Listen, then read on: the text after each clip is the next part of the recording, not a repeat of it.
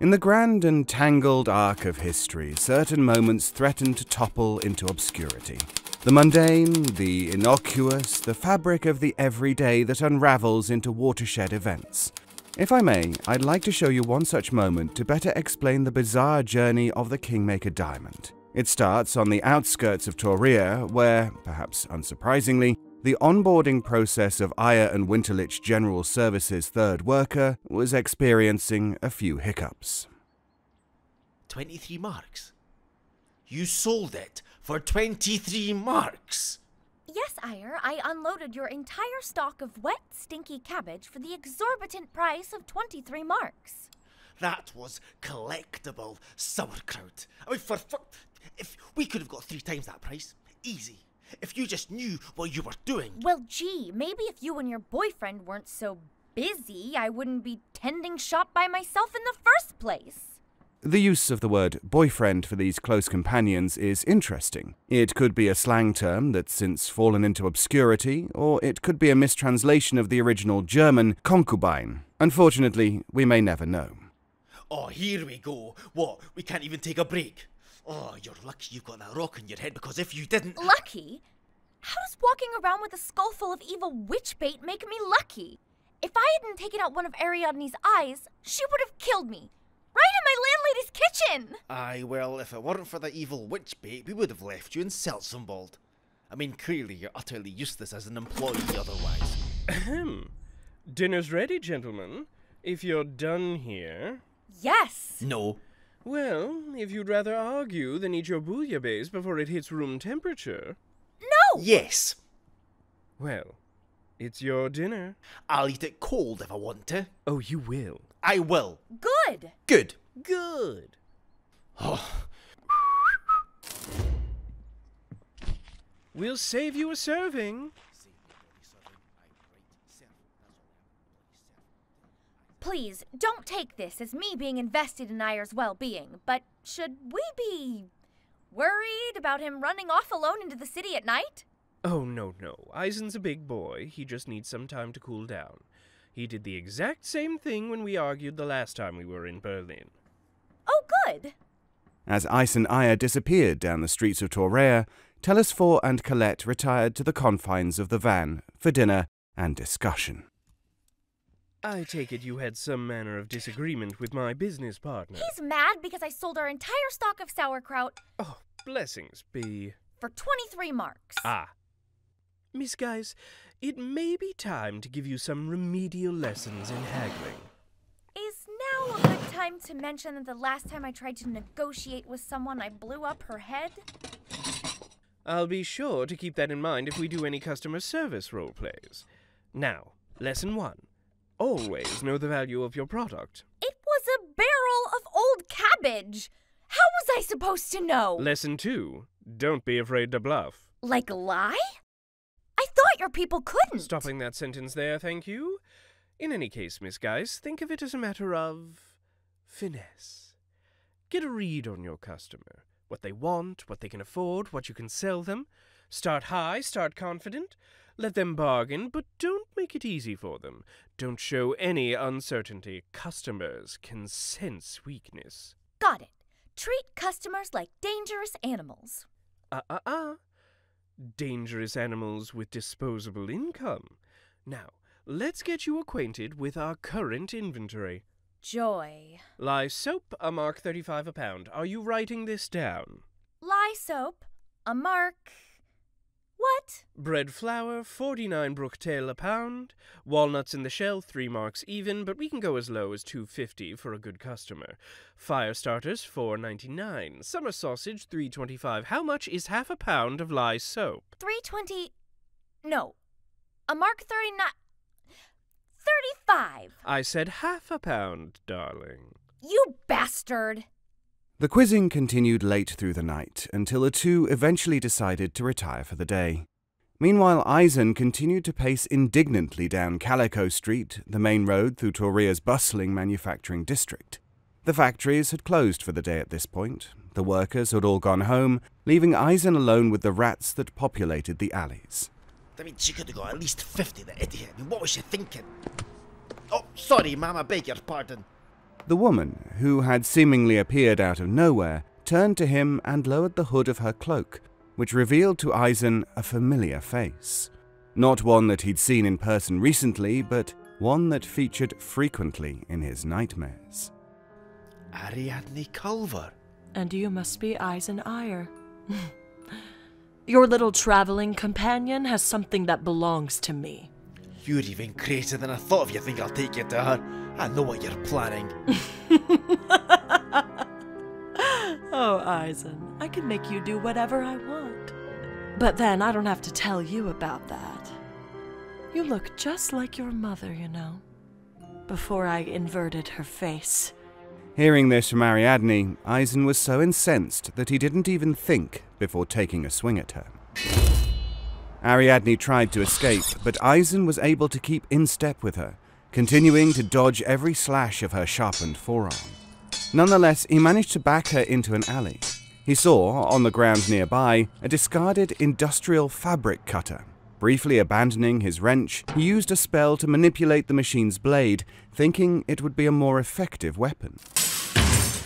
He was correct in this assumption, as it only took a single swing to cleanly sever the witch's head. Oh shit. I can't believe I just did that.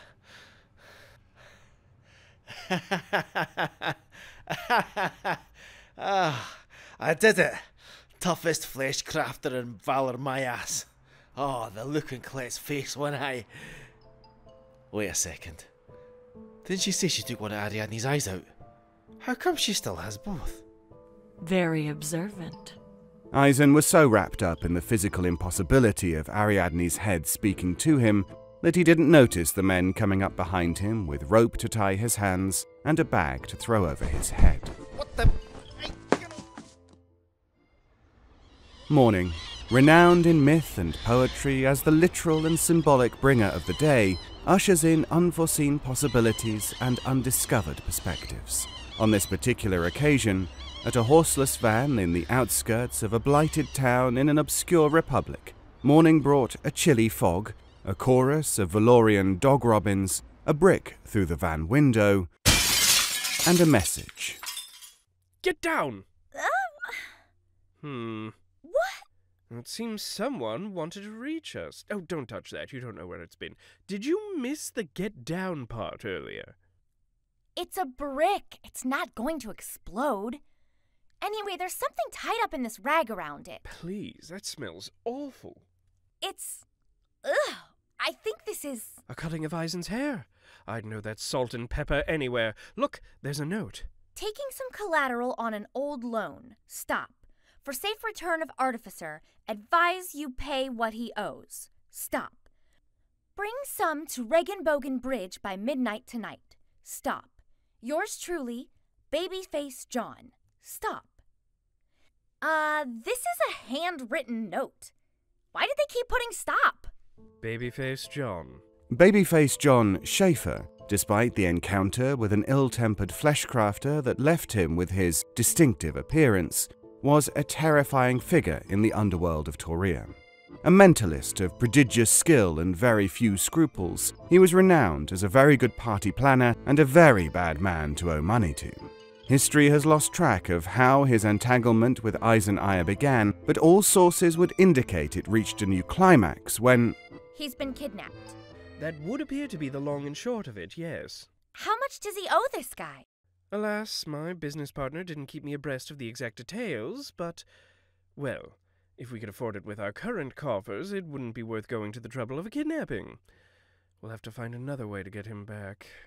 Oh, and throw that rag away, will you? We'll clean up the glass later. Wait, smell this. I would rather not. What is that? That's concentrated urea. Oh, oh, I am so glad you told me. No, no, it's used as a fixative in dyeing. It gets rinsed out before the fabric goes to market, so this has to be an unfinished product. It would have come straight from the textile manufacturing district. That's nowhere near Regenbogen Bridge.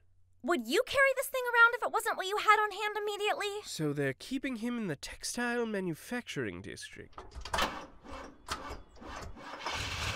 Well, come on. Searching the neighborhood should only take us, so, a week? Well, we can narrow it down a little more. This is a brocade. They'd have to work it on a loom with a jacquard attachment. Meaning. Meaning we're looking for a specialized facility. As the trio, minus one, drove through the textile district, Winterlich at the wheel, Colette navigating the industrial landscape, they discussed the obstacles ahead. How familiar are you with mentalists? Like the guys who scam fortune telling on the street? I'll take that as a not very. Listen, the ideal scenario is we don't have to deal with Babyface John directly, but if we do, be very, very careful. Or what? He'll guess my birthday? Uh, listen to me. Everything you hear, everything you see, everything you feel, There! That's where they're keeping him. It has to be. there. Are you sure? It's the only place we've passed that isn't in use. Best place to keep a hostage. Noted. I'll take us around the back. It looks like there's some windows out. Maybe we can get in through there, sneak around, find Eisen, and. You can squeeze through those windows. I will need another way in. Right, well, can't you just. Just. You know, just. pop up inside? Not if I can't see inside, and not if I don't know who might be watching, no. We'll have to do this a long way, I'm afraid. If you can get in through the window, you should be able to unlock the doors from the inside. Great. I'll get you in, and, uh. uh what's the plan? Usually, when it comes to dekidnappings, we try to take advantage of any opportunities for distraction.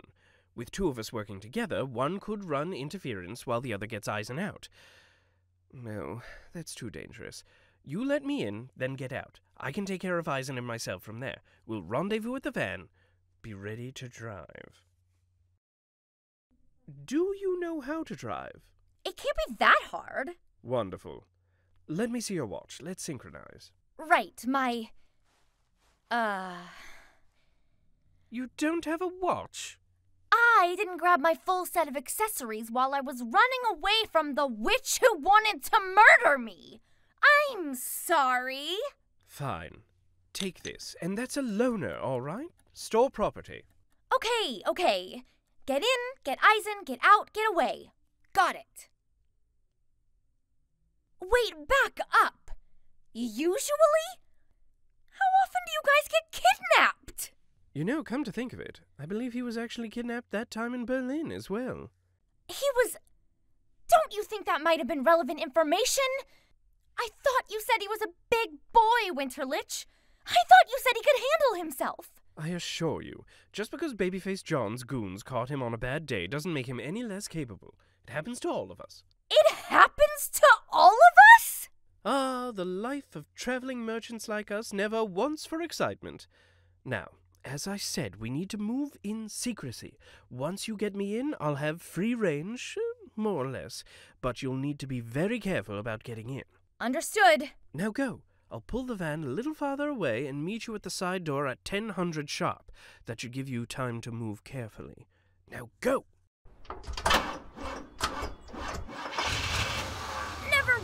Excitement. Great. Love it. I'm about to crawl through a window into Tetanus City, and my new boss won't even tell me how often they get kidnapped. Wait. Traveling merchants like us? As Colette peered surreptitiously through the empty window frame, she was greeted by the sight and smell of a disused fabric manufactory. Featuring, yes, Jacquard Loom. I knew it. Miss Geiss nimbly made her way inside, aided by the skills of stealth she developed in her years living as a courteous upstairs neighbor. Shit, shit, shit, shit, shit, shit, shit. Due to speedy detection by Babyface John's unusually perceptive lookout man, Colette was forced to rearrange plans. Forsaking all hope of stealth, she sprinted towards the door indicated by Telesphore Winterlich as the crime lord's underlings closed the distance between them. She reached the door moments before they caught her, fumbling with the latch for a few precious milliseconds. As they grabbed her and dragged her away, they assumed she'd only been interested in her own exit, and no one noticed the door slowly beginning to drift open in the breeze behind them. As she was brought deep into the heart of the factory to face Babyface John, the man behind this entire misadventure.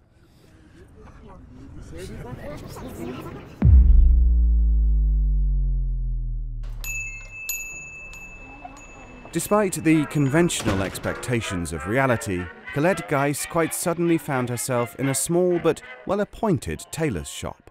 In contrast to the dim squalor of their previous surroundings, sunlight shone in through a window emblazoned with the words House of Geiss. Bolts of fabric in almost every color imaginable lined the walls, mannequins displayed finished projects, and at the front of the shop, a customer was demanding attention. Oh, there you are. Thank goodness. I need to talk to you about my order for the gala. Your order for the. Of course! Is everything all right? You don't need to cancel or anything, do you? Cancel? After how long I spent on your waiting list? Heavens, no! I'm wearing a Geiss original to the gala, and I can't wait to see Helena's face when I do.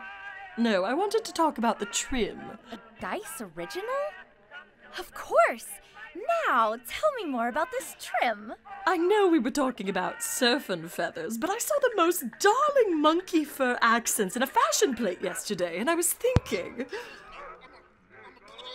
Hang on. Did you hear anything?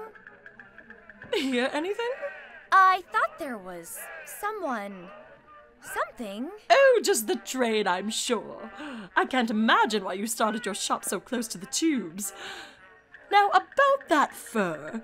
We can add it to the design, but that stuff doesn't import cheap. We'd be looking at adding around 25 marks for each foot of trim. Oh, but for a loyal customer, can't we knock it down to, say, 23? No, 23 marks isn't a good price. We could easily get triple that, couldn't we? Triple? But you just said. No, um, hold on. How long have I had this shop? Well, I don't know. And if you're such a loyal customer, why don't I know your name? What do you mean you don't know my name? Because none of this is real, is it? Well, Jesus Christ! Was the achieving your lifetime goal fantasy not good enough for you? What's it take to keep you distracted? You want the erotic hot spring scenario? The vicious, vicious revenge, revenge daydream? daydream? I could always just leave you in the endless tedium hole. Or the being eaten by your own ears hallucination. As the dreamscape dispersed, Colette found herself tied to a chair across from an unconscious Eisen Ayer, also tied to a chair, and behind him another man, standing just out of range of the harsh light shining down on her. This, as she was soon to piece together, was none other than Babyface John himself. Ayer. Ayer? Eisen! Don't worry about him. Just a dab of chloroform to keep him from pulling the machinery down around our heads. Now, what do you want? I want my friend, uh, my associate back. Oh, the artificer. Is that what this is about? Yes? I mean, what do you think I was busting in the window for? Hey, I'm a prominent businessman. Lots of people want to talk to me about lots of things. You weren't who I was expecting to come from Mr. Ayer, is all. Oh, uh, you were probably expecting the other guy, right? Winterlich, yeah. What's he up to? At that moment, unbeknownst to anyone in that room, what Winterlich was up to was meticulously making his way through the shadows of the factory, moving wherever and whenever he could be unseen, slowly scoping out where his friends might be hidden. Out of town for a trade conference. I'm, uh, the new hire. New hire, huh? Welcome to the business, kid. Let's talk about your pal. I don't really know if pal is the right word. I told you's Regenbogen Bridge. You didn't come to Regenbogen Bridge. I don't appreciate that. But you've caught me in a forgiving mood. Great, so. So let's settle it up, eh? Well, you know, the thing is. The thing is? The thing is? Oh, please, new hire. Tell me what the thing is. We're just, uh, not very liquid right now. Uh huh. You keep it up with the excuses, and yous are all gonna be very liquid very soon. But we wouldn't just not pay you, sir. Of course not. It's just, we were hoping that we could, uh, It was at that moment that Colette caught sight of a familiar large silhouette moving silently through the factory, darting just out of sightline. We can pay you, just not in cash. Tough. I like cash. You'll like this too. It's collectible. One of a kind. One of a kind what? Only the finest timepiece I've ever had the pleasure of laying eyes on. A watch? That's your offer? Do you have any idea how much this twerp owes me? Trust me, you haven't seen this watch. I mean, no one has. I'm not even supposed to sell it yet, but considering what we owe, I decided to bring it out of the vault. I'd take it out of my pocket to show you, but, well, Uh-uh. Sorry, doll. I'm not untying you. Don't think I don't know how that one goes. I can get it out of your pocket for you myself. You're welcome. As babyface John crossed to Colette's side, several things happened at once. One, interesting but irrelevant to our story, was that an astonished farm wife several towns over watched her prize cow give birth to a litter of black and white kittens, at least according to her fervent account in the town newspaper the next day. Another was that the light finally shone full on babyface John's, well, baby face. and the other was that Eisen Ayer's unconscious form left Babyface John's line of sight, freeing Telesphore Winterlich to appear behind him with a vial of smelling salts and begin working on the ropes keeping him bound to the chair. As Ayer began to stir groggily, Colette redoubled her sales pitch efforts. a bit of metal magic from the man of the hour. A watch that winds itself. Applesauce. How long can that hold up? You'd be surprised. And not only does it wind itself, it's dust proof, waterproof, rust proof, smells faintly of lavender. As Babyface John, almost despite himself, lifted the watch to take a sniff, Eisen Ayer took the moment to reintroduce himself. Revived, but not quite revitalized, he stood leaning on his business partner for support and summoned his trusty wrench from Babyface John's prone form back into his own hand. Okay, go. Go, go, go. The three made a hasty escape, Colette supporting Ayer as Telesphore took one of his little shortcuts to the van and drove back to pick them up. Get in, get in. Go, go, go, go, go.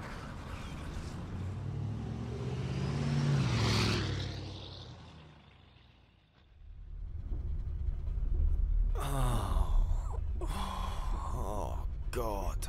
Chloroform hangover. Poor baby. Don't worry, we saved you some bouillabaisse.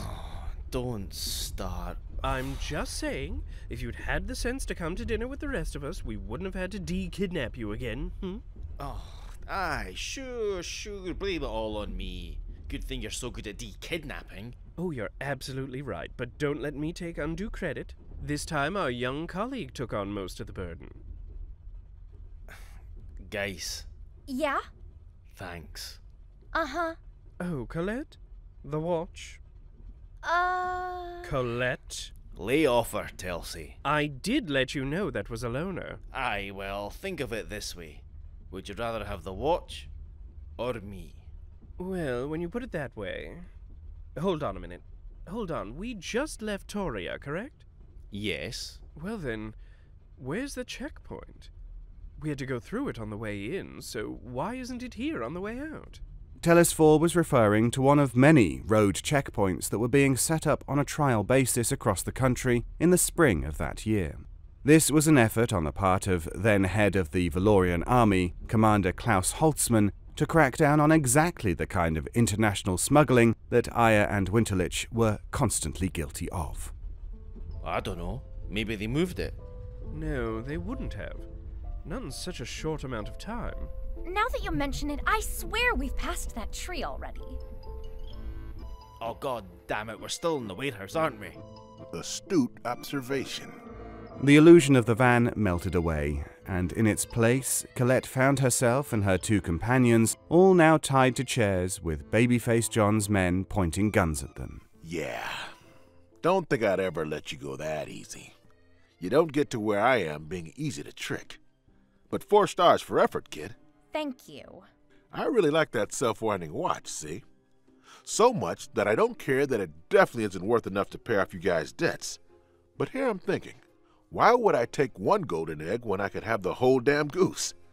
Ire, you made this thing ipso facto. You can make more of them. So what I'm gonna do is shoot Winterlich and the girl, and keep you around to make watches until I see you've made enough. Haha, not if I take your guns first.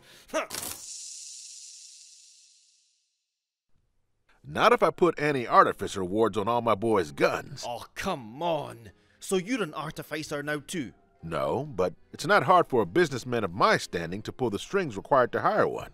Mr. Schaefer, if I may, playing devil's advocate here, let's say you take Ayer. Oi, Don't you think killing Miss Geisenai is a little excessive? No, I think it's totally reasonable on account you both tried to con me, and I don't take to being conned. In fact, I'm so cut up over the level of disrespect you've displayed today that I'm going to kill you myself with my own gun.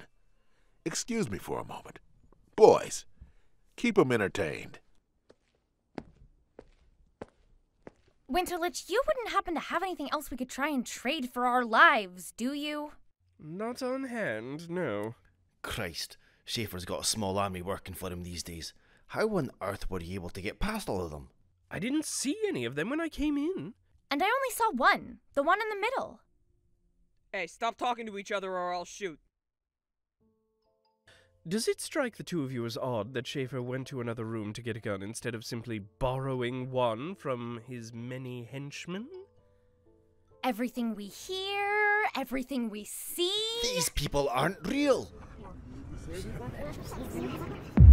And with that, the dozen or so men working for Babyface Schaefer seemed to condense, like the converging reflections in a kaleidoscope, revealing that in fact there was only a single man with a single gun.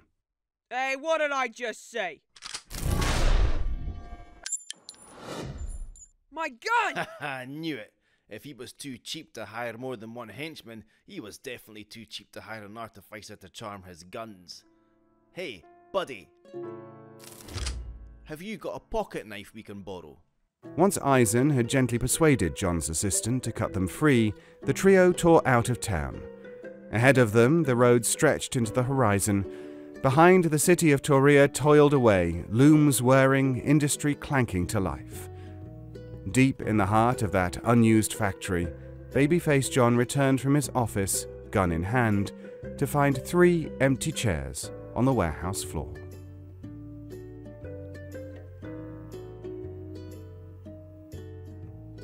This episode of Kingmaker was written by Dana Schiewe and audio engineered by Meg Molloy Tuten, with executive production by Henry Galley. Our music comes courtesy of Vivek Abhishek. This episode featured, in order of appearance, David Ault as the historian, Taqi Nazeer as Eisen, Blythe Renay as Colette, Josh Rubino as Telesphore, Addison Peacock as Ariadne, and Richie Ammons as Babyface John, with additional voices by Addison Peacock and Meg Molloy Tuten. If you're interested in supporting the show, please follow Kingmaker Pod on Tumblr, Twitter, and Instagram, or search for Kingmaker Podcast on Facebook and Patreon. Thank you for listening, and we'll see you again in two weeks.